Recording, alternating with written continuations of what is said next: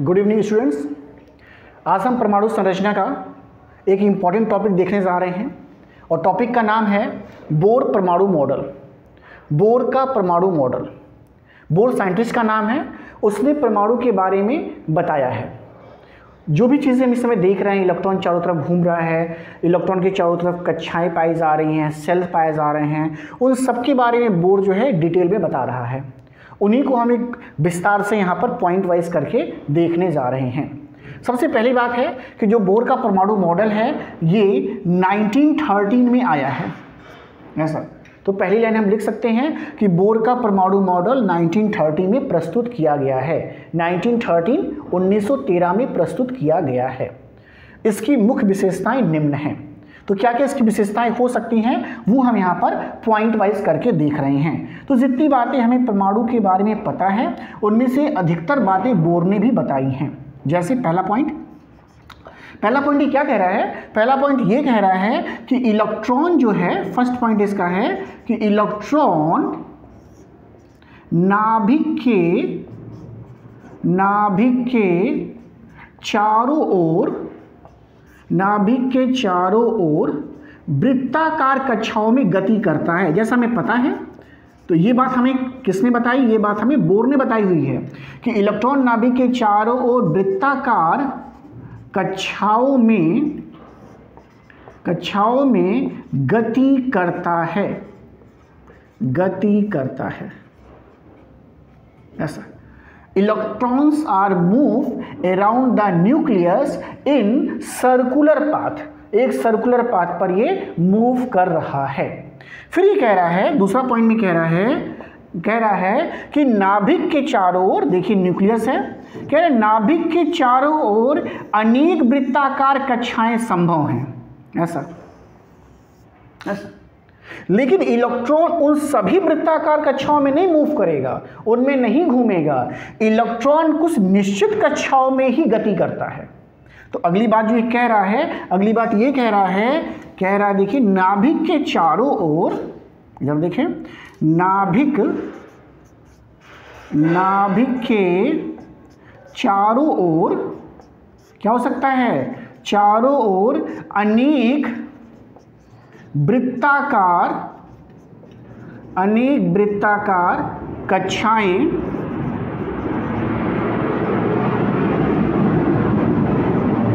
संभव है। एरोप्लेन जा रहा है। माइंड नहीं करेंगे। संभव है, लेकिन लेकिन, इलेक्ट्रॉन लेकिन इलेक्ट्रॉन सभी कक्षाओं में गति नहीं करेगा। कुछ विशेष प्रकार की कक्षाएँ होंगी, उन्हीं में गति करता है। लेकिन, किन, लेकिन इलेक्ट्रॉन कुछ निश्चित कुछ निश्चित कक्षाओं में, कुछ निश्चित कक्षाओं में ही में ही गति करते हैं। सब में नहीं घूमेंगे भाई। गति करते हैं। ये अगला पॉइंट इसने कहा। पहला पॉइंट कि भाई, अनेक वृत्ताकार कक्षाएँ, अरे, इलेक्ट्रॉन जो है नाभिक के चारों ओर वृत्ताकार कक्षा में घूम रहा है। दूसरे पॉइंट में कह रहा है, ढेर सारी कक्षाएँ हो सकती हैं, सब में नहीं घूमेगा, कुछ ही कक्षाओं में घूमेगा। अब तीसरी बात ये कह रहा है कौन सी कुछ कक्षाएँ में? ये आंसर देगा। देखिए कह रहा है कि इलेक्ट्रॉन इलेक्ट्रॉन इलेक्ट्रॉन उन्हीं कक्षाओं में घूमेगा, उन्हीं कक्षाओं में घूमेगा, जिनमें जिनमें इसका जिनमें इसका, ये बहुत इंपॉर्टेंट पॉइंट है, जिनमें इसका कोणीय संवेग कोणीय संवेग h अपॉन टू पाई के पूर्ण गुणित होगा। पूर्ण गुणित होगा। ऐसा अब जिसमें इसका कोणीय संवेग h अपॉन टू पाई के पूर्ण गुणित होगा तो ऐसी कक्षाएँ निश्चित हैं, ओके? और इन कक्षाओं को क्या कहा गया? इन कक्षाओं को अस्थाई कक्षा कहते हैं। ओके तो कहा गया है कि इलेक्ट्रॉन जो है इनका जिसमें इसमें कोणीय संवेग एच अपॉन टू पाई के पूर्ण गुणित होगा, इन कक्षाओं की संख्या, इन कक्षाओं की संख्या निश्चित है। इन कक्षाओं की संख्या निश्चित है। निश्चित होती है। सब में ऐसा नहीं होगा कि सब में इसका कोणीय संवेग एच अपॉन टू पाई के बराबर है। वो निश्चित कक्षाएँ हैं। निश्चित होती है और निश्चित होती है और इनको और इनको अस्थाई कक्षाएँ कहते हैं और इनको अस्थाई कक्षाएँ कहते हैं। ये खास बात है।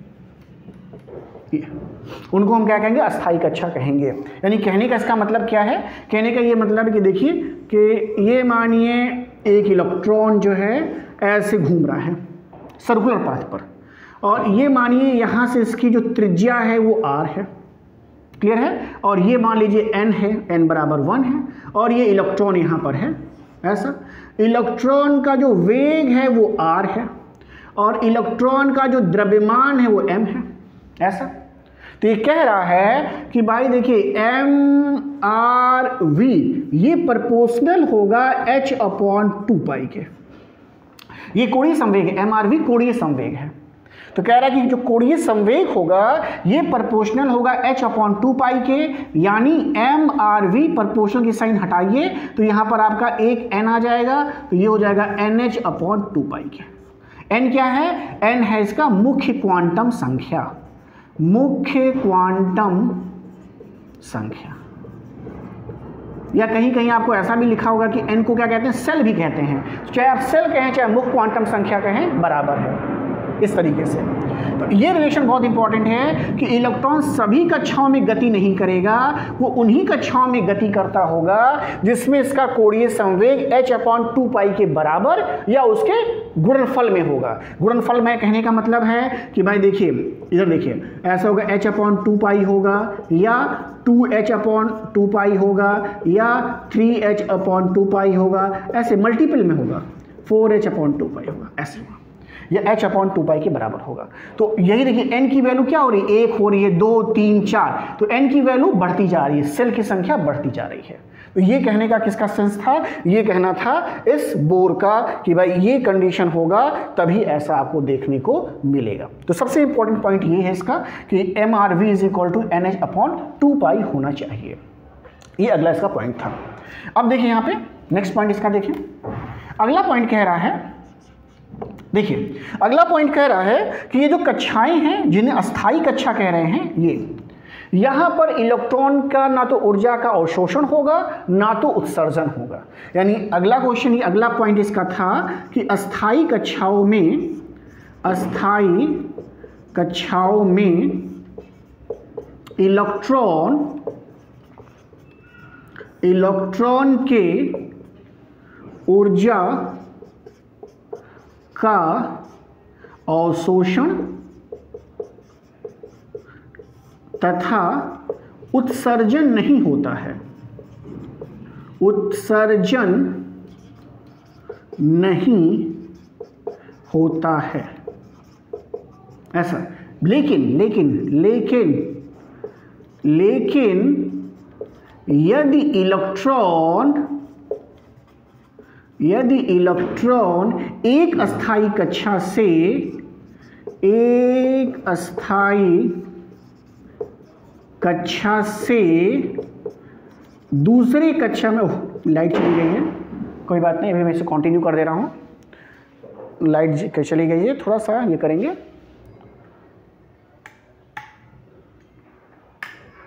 हाँ ओके।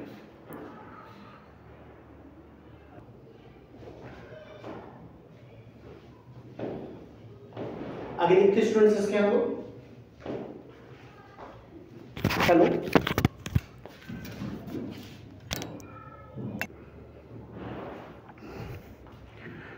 इसमें हम लोग आगे देखने वाले हैं स्टूडेंट्स हम लोग चौथा पॉइंट इसका देख रहे थे कि अगर मान लीजिए सपोज़ करिए, इधर देखें।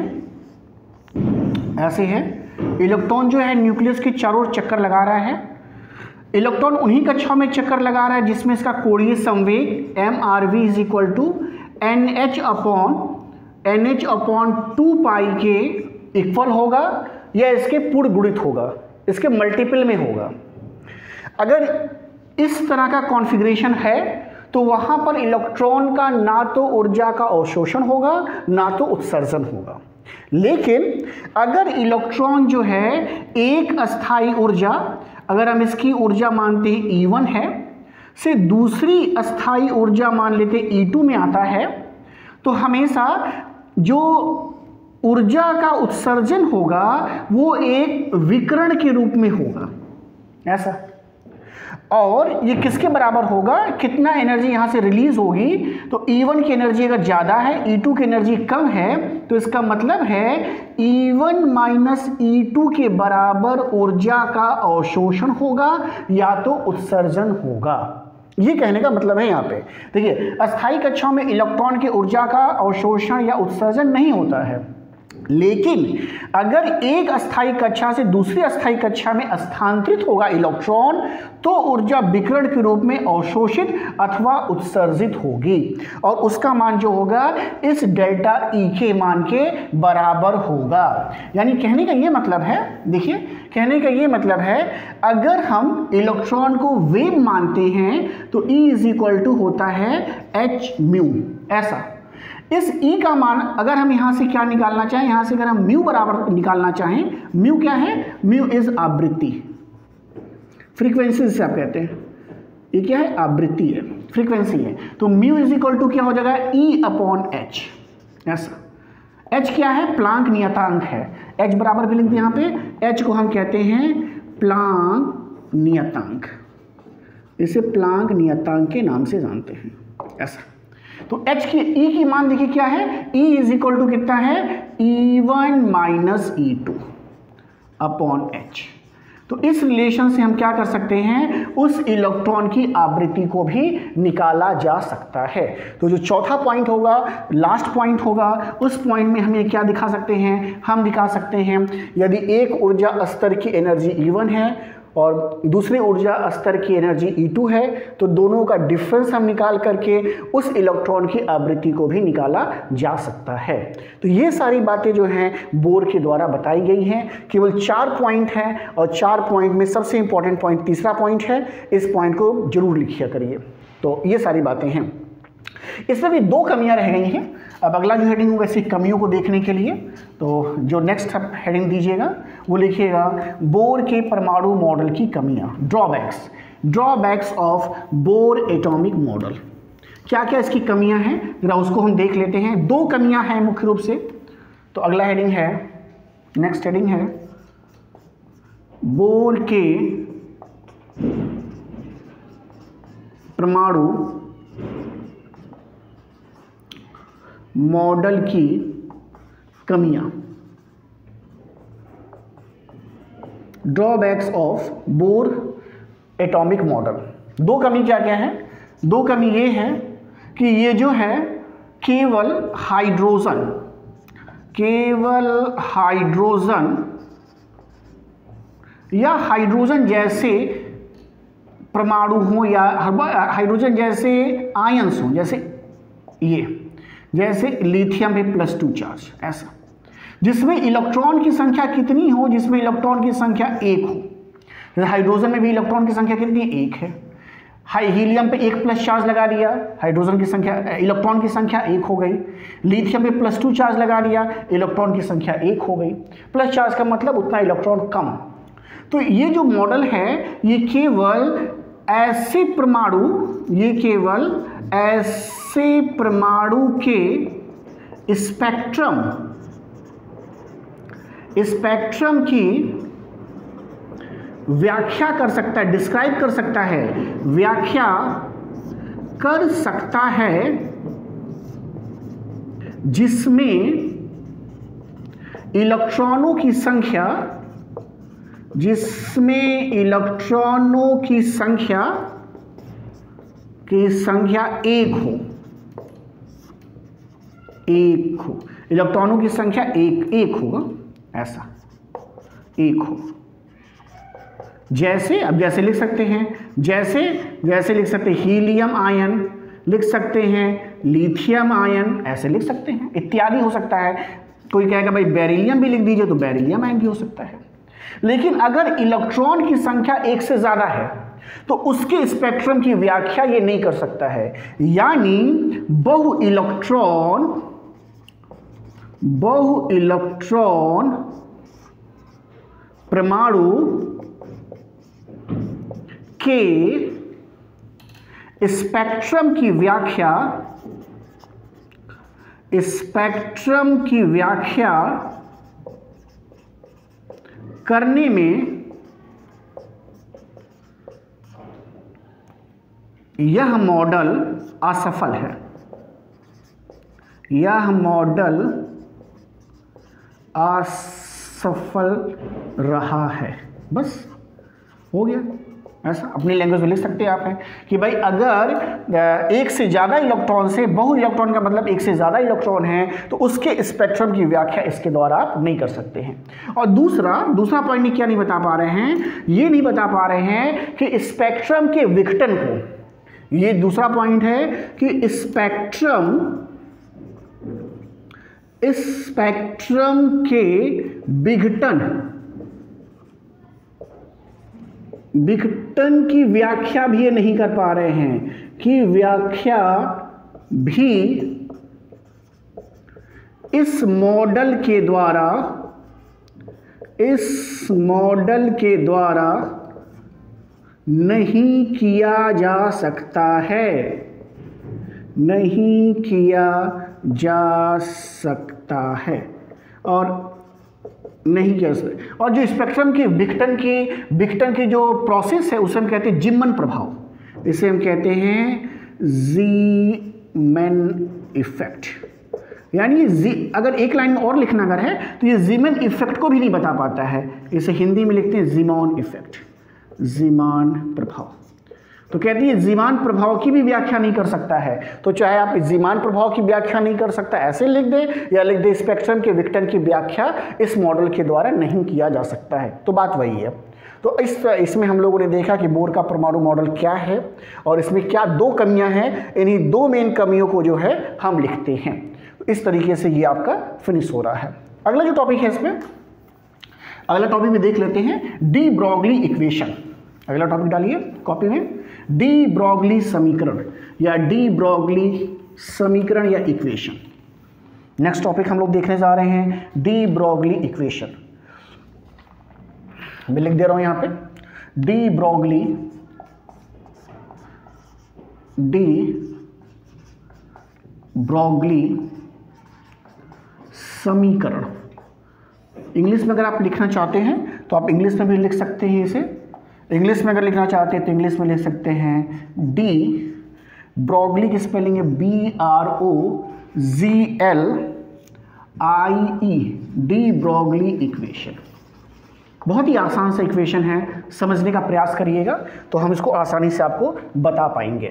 देखिए आप डी ब्रॉगली समीकरण समझने से पहले थोड़ी सी बात दूसरी समझते हैं। पहले हम इसके पहले समझते हैं बात लाइट की या प्रकाश की। प्रकाश की बात या लाइट की। देखिए, ऐसा कहा गया है कि जो प्रकाश है, इसकी जो प्राकृति है, ये दो तरह से है। मतलब प्रकाश जो है, दो तरह से व्यवहार कर सकता है।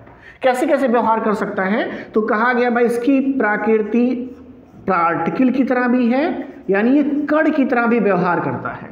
और दूसरा किसकी तरह बिहेव कर सकता है? तरंग। यानी वेव की तरह भी ये बिहेव कर सकता है। तो इसकी प्रकृति बताई गई भाई, दो तरीके की हो सकती है। एक तो वेव की तरह हो सकती है, तरंग की तरह हो सकती है, और एक कड़ की तरह हो सकती है। अच्छा तो प्लांक जो है प्लांक साइंटिस्ट जो था, उसने कहा कि भाई, अगर सपोज़ करिए कि इसका बिहेवियर तरंग की तरह है, ऐसा?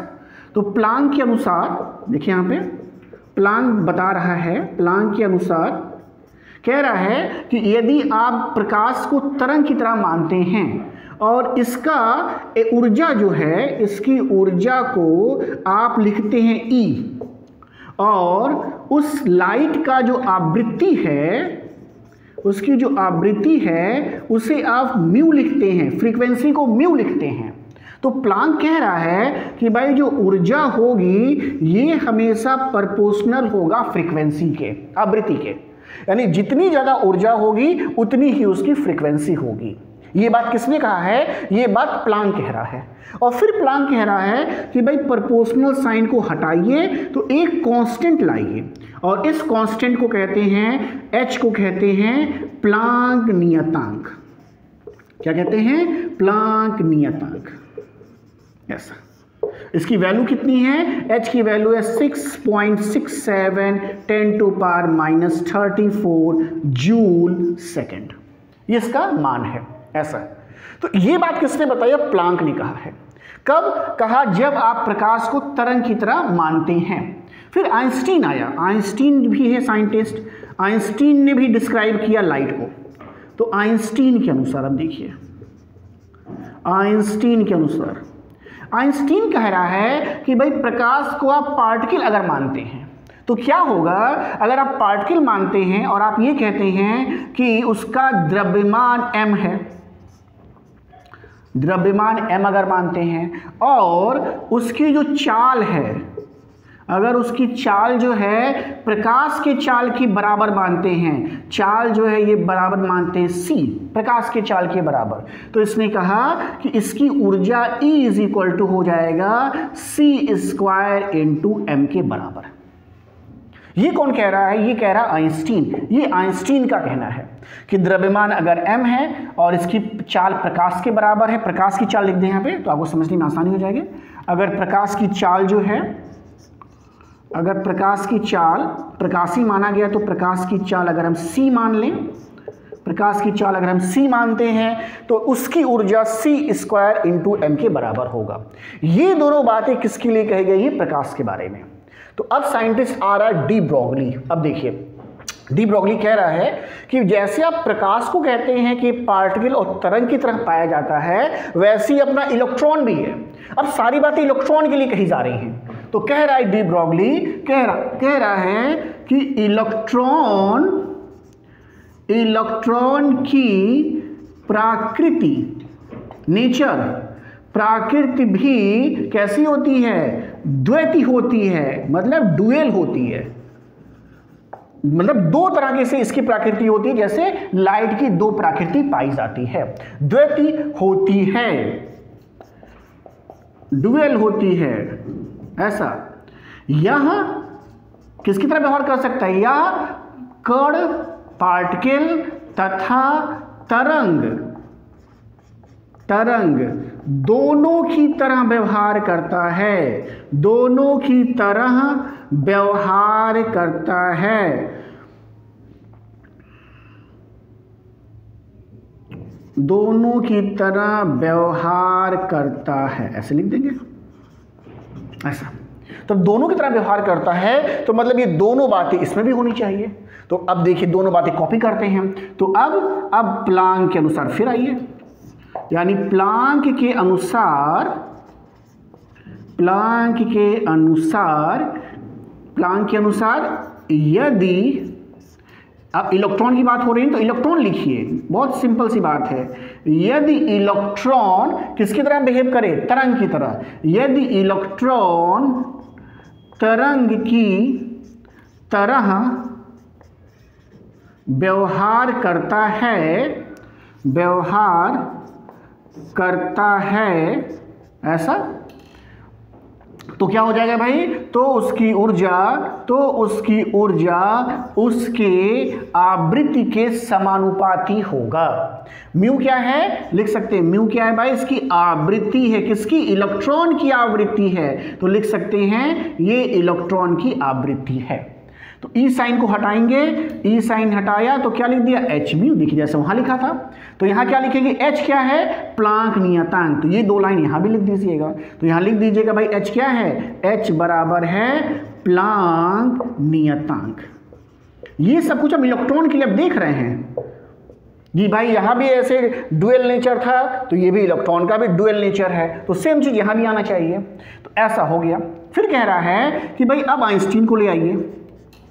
देखिए, आइंस्टीन के अनुसार, आइंस्टीन के अनुसार यदि यदि इलेक्ट्रॉन यदि इलेक्ट्रॉन यदि इलेक्ट्रॉन कण की तरह, कण मतलब पार्टिकल, कण की तरह व्यवहार करता है, व्यवहार करता है तो उसकी ऊर्जा तो उसकी ऊर्जा E इज़ इक्वल टू कितने के बराबर होगी भाई? देखिए E is equal to C square into M के बराबर होगा। C क्या है? प्रकाश की चाल है और M इलेक्ट्रॉन का द्रव्यमान है। ऐसा। अब देखिए इक्वेशन वन एंड टू इसे इक्वेशन टू मान लीजिए, ऐसे। और इसे क्या मान लीजिए? इक्वेशन वन इसे हटा दे रहे हैं। ये तो समझने के लिए था। देखिए इसे हटा रहे हैं। अब देखिए यहाँ देखिए। ये इक्वेशन आपका वन है। इक्वेशन वन एंड टू देखिए दोनों तरफ़ ऊर्जा है। तो अगर दो अगर लेफ़्ट हैंड साइड बराबर तो राइट हैंड साइड भी बराबर होगा। ये हम सभी जानते हैं। जैसे जैसे मान लीजिए लिखते हैं बारह बराबर चार गुड़े तीन ऐसे। या फिर हम लिख दें क्या चीज़? या हम लिख दें आ, या लिख दें हम दो गुड़े छः बराबर बारह ऐसा। तो देखिए, अगर ये साइड बराबर है तो ये साइड भी बराबर, चाहे चार तीन बारह कहें, चाहे छः दुना बारह कहें, यानी बराबर है, यानी कहने का मतलब है चार गुड़े तीन बराबर, दो गुड़े छः होता ही है, ऐसे। तो अगर एक साइड बराबर, लेफ़्ट हैंड साइड बराबर है तो राइट हैंड साइड भी बराबर होता है। इसी बात को यहाँ देखा जाएगा। अब देखिए, इस बात को यहाँ समझने का प्रयास करिए।